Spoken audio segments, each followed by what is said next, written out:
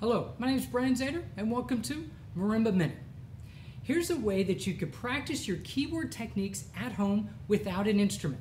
Some people utilize floor exercises, other people have one surface that you can stand and play. This is another version where you can actually have the naturals and the accidentals and practice the motion between the two manuals.